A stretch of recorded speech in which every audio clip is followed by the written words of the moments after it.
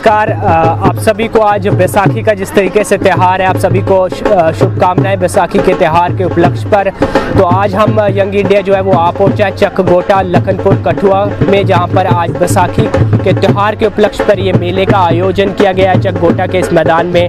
Hockey, जादूगर, ध्यानचंद के नाम पर ये ग्राउंड जो है, उसका नाम रखा गया और यहाँ पर आज बैसाखी का त्यौहार मनाया जा रहा है। मेले का मेला ऑर्गेनाइज किया गया है यहाँ पर और आ, मैच कबड्डी के मैच भी यहाँ पर करवाए जाएँगे इस उपलक्ष्य पर। तो आपको बताते चले कि बैसाखी का त्यौहार जो है वो पूरे उत्तर भारत में आ, बहुत ज़ोर शोर से मनाया जाता है। गेहूँ की कटाई के उपलक्ष्य पर किसानों की खुशी के रूप में इस त्यौहार को आ, मनाया जाता है पूरे उत्तर भारत में। तो वही प्रथा जो है वो यहाँ पर भी आज अपनाई गई है और ये त्यौहार जो है बैसाखी का वो यहाँ पर मनाया जा रहा है चककोटा के इस मैदान में। आप देख सकते हैं मेरे पीछे जो है वो यहाँ पर मेले का आयोजन किया गया, ढोल नगाड़े बज रहे हैं पूरा जो त्यौहार है, इसको मना उपलक्ष्य पर पूरे मनाया जा रहा है इस त्यौहार को।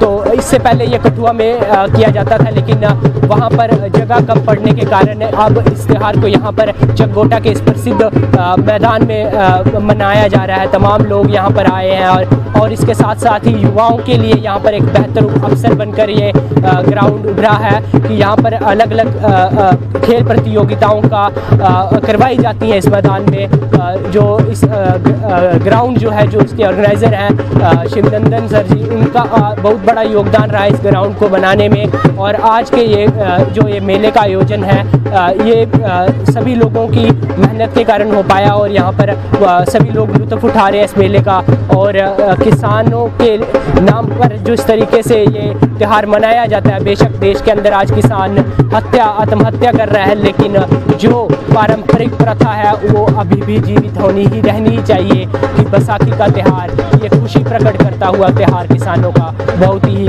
उत्साहपूर्वक ये मनाया जा रहा है चकगोटा के इस मैदान में मैं चाहूँगा कैमरामैन दिखाए पूरा दृश्य आपको।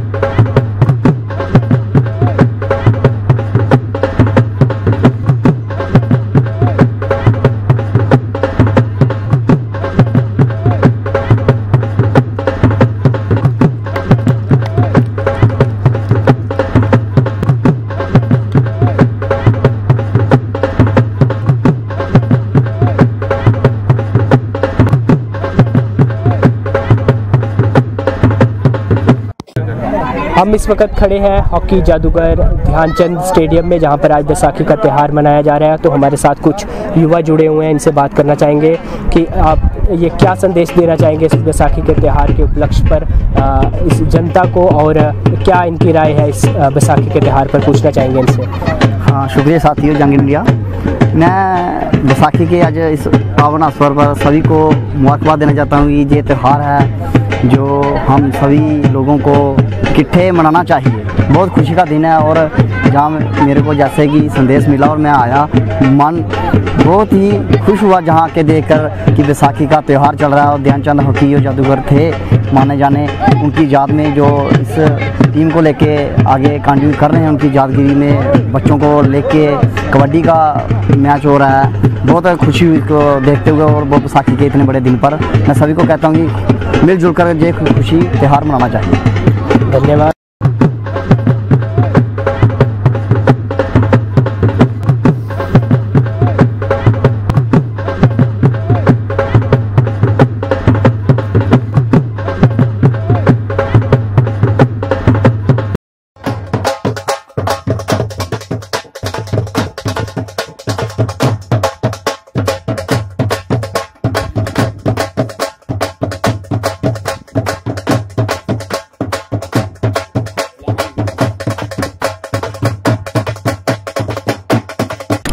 नमस्कार इस समय हम लोग चक गोटा में हैं मेजर ध्यानचंद ध्यानचंद स्टेडियम में और हमारे यहाँ यहाँ पे युवाओं के साथ साथ थोड़े अ, सीनियर साथी भी हैं आइए इनसे बात करते हैं आज बैसाखी के पावन अवसर पे और इस- क्या संदेश देना चाहते हैं ये हमारे समाज को? आइए इनसे बात करते हैं। सर सबसे पहले तो आपका नमस्कार हमसे बात करने के लिए।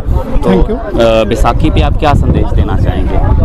बैसाखी पे मेरा संदेश है कि जो नौजवान हमारे बच्चे हैं वो सही रास्ते पर आने के लिए जो स्पोर्ट्स है जो हमारा जो कल्चर है उसको बढ़ाने के लिए वो इसमें भागीदारी लें इसमें हिस्सा लें ताकि जो हमारी एक पुराने जो रिवाज थे जो हम देख रहे हैं कि जिनके ऊपर हमारा जो ध्यान है वो कहीं दूर होता जा रहा है। हम भटक रहे हैं उस रास्ते से। तो वो एक हमारा प्रयास है कि जो नौजवान हैं वो इसमें हिस्सा ले खेलों में ताकि वो अपनी सेहत को अच्छा रख सकें अपने समाज को अपने घर को परिवार को सबको वो स्वस्थ बना सकें। तो उसी के उपलक्ष्य में जो हमारी जो हॉकी जादूगर ध्यानचंद जी हैं उनके नाम पर ये एक यहाँ पर स्पोर्ट्स काउंसिल बनाई है चागोटा में जो रजिस्टर्ड है बाकायदा जम्मू कश्मीर गवर्नमेंट की तरफ़ से। तो उन्हीं की एफर्ट से ये जो हमारा स्टेडियम है जहाँ पर आप देख रहे हैं इसमें कितनी बड़ी जो ज़मीन है कठुआ में शायद ये पहला जगह होगी जहाँ पर इतना बड़ी ज़मीन है जिसको काफ़ी एफर्ट्स के साथ बनाया गया है। और अगर इसको डेवलप किया जाए तो जहाँ पर बहुत अच्छे प्रोग्राम जो हैं वो ऑर्गेनाइज किए जाते हैं। तो उसी के उपलक्ष्य में आज यहाँ पर ये हमने फैसला किया कि बैसाखी के दिन जहाँ पर हम एक शुरुआत करें तो उस शुरुआत में आज जहाँ पर टीमें आई हुई हैं पहला मैच कबड्डी का मैच हो रहा है। उसके बाद सात टीमें जो हैं वो टगा वार की हैं जिसमें एस कठुआ पुलिस ट्रेनिंग सेंटर जो है स्कूल जो है उनकी टीम है छः टीमें लोकल हैं जहाँ पर। तो यानी काफ़ी उत्साह है बच्चों के अंदर जो बेरोजगार हमारे बच्चे हैं। उनके अंदर जो उत्साह के वो इसमें हिस्सा ले रहे हैं। तो एक शुरुआत है प्रयास हो रहा है। हम देखेंगे इसके आगे हम और जो अच्छे प्रोग्राम है वो कोशिश करेंगे। ऑलमोस्ट पे देखा गया कि जम्मू कश्मीर के स्टेट की अगर हम बात करते हैं तो यहाँ पर स्पोर्ट्स का इतना ज़्यादा एक्सपोजर नहीं है। मतलब सरकार भी इतना ध्यान नहीं देती है और खासकर कठुआ जैसे एरिया में जहाँ पर इसको रूरल एरिया कहा जा सकता है कोई मतलब इतना सेमी अर्बन कहा जा सकता है। तो यहाँ पर इस तरह के मतलब स्टेडियम में और यूथ की जो पार्टिसिपेशन है वो किस तरह से आप देखते हो? और किस तरह से अगर यूथ को यहाँ पर लाना चाहे किस तरह से मतलब यूथ के लिए क्या है? देखिए मैं आपको बताऊँगा कि यूथ को स्पोर्ट्स में पार्टिसिपेट करवाने के लिए गवर्नमेंट की तरफ़ से बहुत सी स्कीम्स हैं। बहुत ज़्यादा स्कीम्स हैं सेंट्रल गवर्नमेंट की हैं स्टेट गवर्नमेंट की हैं लेकिन उन स्कीम्स को सही तरीके से नौजवानों तक नहीं पहुँचा जाता। वो पहुँचती नहीं है वहाँ पर। हमारे यहाँ पर जे के अंदर दो विंग है यूथ सर स्पोर्ट जो स्कूलों के अंदर देखता है कि वहाँ से बच्चों को तैयार करके वो एक ऑर्गेनाइज तरीके से टूर्नामेंट में हिस्सा लेते हैं। लेकिन उसमें जो मास पार्टिसिपेशन होनी चाहिए बच्चों की जिसके हम कह सकते हैं कि जैसे राइट टू प्ले जो है वो मिले हर बच्चे को। हर स्कूल के अंदर खेलने के लिए प्ले फ़ील्ड हो बच्चे वहाँ पर खेले लेकिन उसमें एक कमी है कि प्ले फ़ील्ड नहीं है स्कूलों में। बाकी जो हमारे वहाँ पर जो सिखाने वाले लोग हैं जहाँ जो एक स्कूल के अंदर एक इन्वायरमेंट होती है स्पोर्ट्स के लिए वो अभी तक तैयार नहीं हो पाई है। वो कमी है कि एक कल्चर नहीं डेवलप हो सका स्पोर्ट्स का। दूसरा हमारा जो विंग है वो स्पोर्ट्स काउंसिल है। स्पोर्ट्स काउंसिल की तरफ़ से एसोसिएशन होती हैं जो हर जो जितनी भी हमारे डिफरेंट जो गेम्स हैं, उनकी एसोसिएशन है जिसको, जो कि जिला स्तर पर बनी हुई है। लेकिन उन एसोसिएशन का जो सबसे एक चीज़ सामने देखने आती है कि वो सिर्फ़ महदूद होती हैं कठुआ के हिस्से तक की। सिटी में कुछ क्लब्स को इकट्ठा किया या स्कूलों में जाकर वही बच्चे जो यूसर स्पोर्ट की तरफ़ से खेलते हैं, वही उसमें खेल रहे हैं। उनको ऑर्गेनाइज किया छोटा मोटा प्रोग्राम किया और चंद जो है वो उनको सिलेक्ट करके वो नेशनल में पार्टिसिपेशन करते हैं। अगर काउंसिल का काम है कि जैसे डिस्ट्रिक्ट चैंपियनशिप होती है, अपनी जिला के जितने भी दूर दराज के इलाके हैं अगर वहाँ पर जाकर एफर्ट्स की जाए वहाँ से बहुत अच्छे बच्चे निकलते हैं हमने देखा है। हमने वहाँ से पहले भी बच्चे निकाले हैं और वो नेशनल लेवल तक जाकर उनका अच्छा परफॉर्मेंस रहा है। अगर ऐसी एफर्ट्स की जाए तो स्पोर्ट्स का टैलेंट हमारे स्टेट में भी है।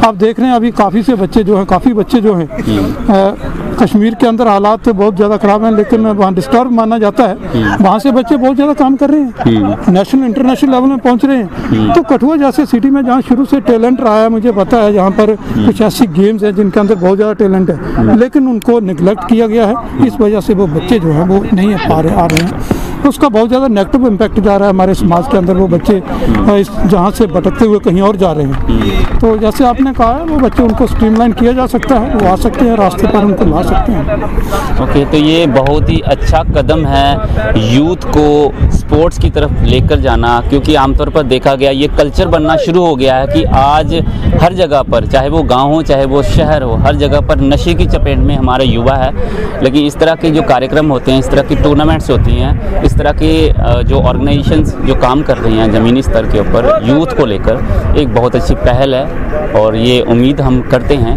कि यूथ एक सही रास्ते पे चलेगा।